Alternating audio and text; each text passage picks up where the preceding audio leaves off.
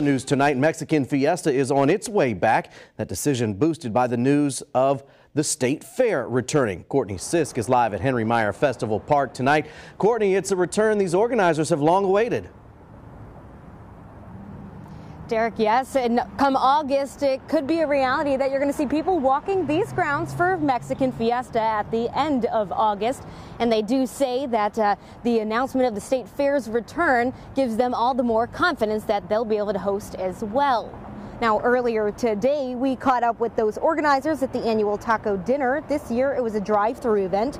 Dozens of community members came by the Flores Hall parking lot for tacos and margaritas to go. All proceeds go to the Wisconsin Hispanic Scholarship Foundation to send Milwaukee Hispanic students to college. Foundation leaders say in a normal year, the organization hands out fifty to seventy-five thousand dollars in scholarships, but it took a hit after canceling last year's Mexican Fiesta, its biggest fundraiser. They say another cancellation would impact more than just festival goers, but they're now confident they will be able to host.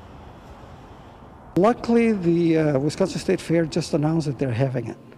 And that is really good news for us because of all the um, ethnic festivals. There's only two left, at least that we're having our festival uh, this year. And of course, Summerfest is also having it. Uh, but basically, uh, uh, we're, we're glad that we're getting a chance. And so, Courtney, we understand there will still have to be some collaboration between uh, the Mexican Fiesta organizers and the city's health department.